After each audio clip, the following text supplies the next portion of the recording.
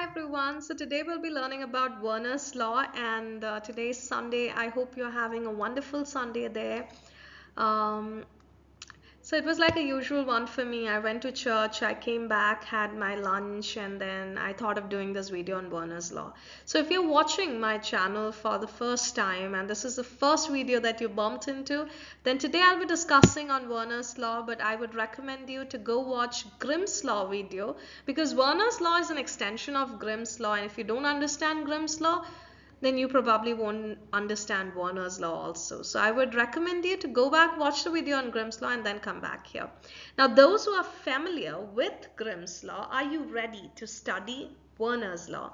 Now the reason why I've used the space theme for these slides is because uh, I remember when for the first time I learned about Verner's law, I was totally in air. So ഞാൻ അങ്ങ് എയറിൽ കയറിയായിരുന്നു so that is a reason you know why I uh, but then uh, by the end of this video, I can assure you that you would have zero doubts on Verner's law. I can bet you on that. So let's study Verner's law. Verner's law, it was uh, formulated by a Danish philologist named Karl Verner. Now let me check if you really studied Grimm's law. So if you studied Grimm's law, then answer this question now. There is a consonant sound shift that is mentioned in Grimm's law where the voiceless plosives in Proto-Indo-European languages they evolve into dash in Germanic languages. You can pause the video, go comment down below your answer and then come back. It's alright even if it's a wrong answer. The correct answer is voiceless fricatives. That means the voiceless plosives per, ter, k, or to simply remember it as p, t, k, evolves in Germanic language as voiceless fricatives f, th, h, f, th, h, f theta h. That's how we remembered it, right? All right. That was one consonant sound shift that was mentioned by Grimm's law. Now what Karl Verner discovered was that um, this set of sound consonant sound shift uh, doesn't happen in every word of Germanic language. Okay, it depends uh, if the voiceless plosives per ter if they are in a stressed environment, if the stress falls on them, okay, then it will follow Grimm's law and evolve as f, th, h in Germanic language. That is as voiceless fricatives. But if there is no stress on them, if they are in an unstressed environment, if they are relaxing, in a chill mood, then it follows Verner's law. Per, the voiceless plosives, they evolve as voiced plosives berg. This is what Verner's law is. I hope it is clear to you now. Okay. Let's understand it in a better way. According to Grimm's law, you would agree with me, the voiceless plosives k changes to voiceless fricatives f th h. So per evolves as f in Germanic language. The Proto-Indo-European ter evolves as th in Germanic language. The Proto-Indo-European k evolves as a h in Germanic language. This is Grimm's law. There is also one sound set that you should remember. According to Grimm's law, the s sound, though it is not mentioned explicitly in Grimm's law, this is something that you should remember because I'll be telling you about a new phenomenon. All right. So, s sound in Proto-Indo-European languages, the s sound remains unchanged even when it evolves in Germanic language. So, s remains as s according to Grimm's law. This much is clear to us, right? Now, let's see how it transforms into Verner's law. The per sound changes to b sound. The ter sound changes to d sound. Now it is not just the d sound, sometimes it also changes as the sound. Okay, the. The is written as, uh, let me attempt using the pen in this. I've never tried it before. Let me see how it works. It's, it's something like this, see. The. Okay. So it is either the or the sound is produced. Alright. So t evolves as d or the sound. K evolves as g in Germanic language. That is the first sound set we, that we know that we should understand from Verner's law. So the voiceless plosives they transform into voiced plosives in Germanic language.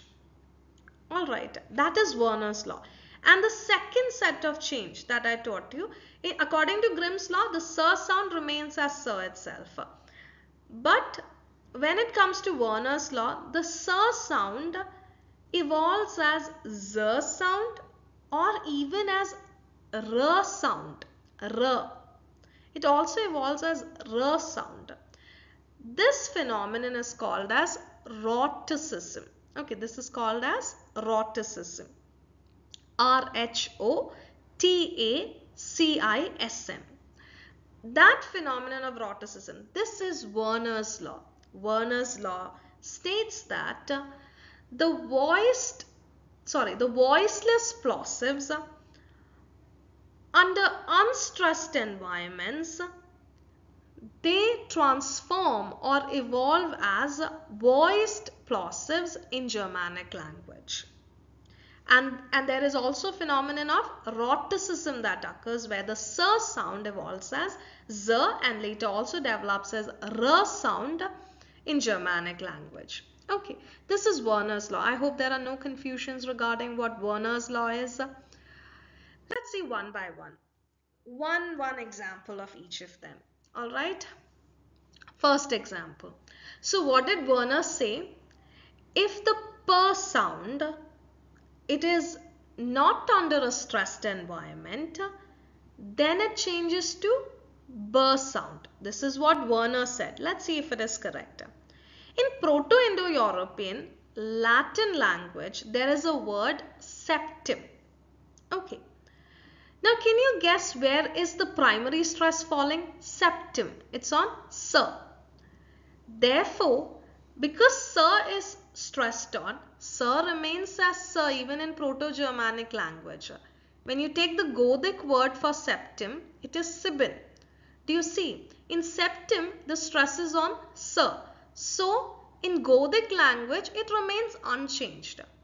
But if you take the p sound of septim, it is hardly heard in fact, right? It's kind of silenced. It is, an un, it is in, an, in an unstressed uh, environment. So for that reason, per, the per sound, which should according to Grimm's law change to fir sound, because it is not stressed, because it is in an unstressed environment, it evolves as b in Proto-Germanic language. Therefore, it is in Gothic as Sibin. The purse changes to b. This is Verner's law. Okay, let's check out next example, example number 2. In Proto-Indo-European, the Sanskrit word for father is Pita. Can you check the stress? Pita. P. The primary stress fall, falls on P.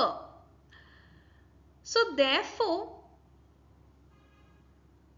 P evolves as F according to Grimm's law. But if you take Pita, you know, so T, that T sound is actually not stressed that much. It's in fact Pita, Ta. That's how it is. So it is in an unstressed environment. For that reason, the t sound doesn't evolve as th, the theta.